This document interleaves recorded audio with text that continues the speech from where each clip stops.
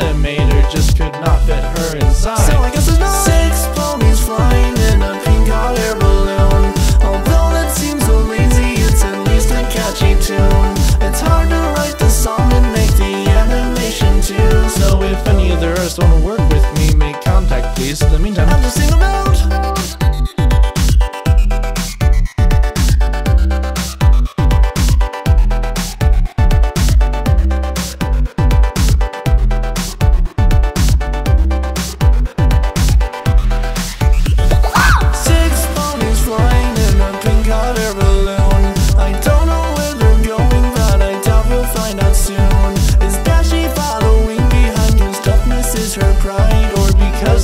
animator just could not fit her inside. So I guess it's not six ponies flying in a pink hot air balloon. Although that seems so lazy, it's at least a catchy tune. It's hard to write the song and make the animation too. So if any other artists want to work with me, make contact please. In the meantime, I'm just sing about.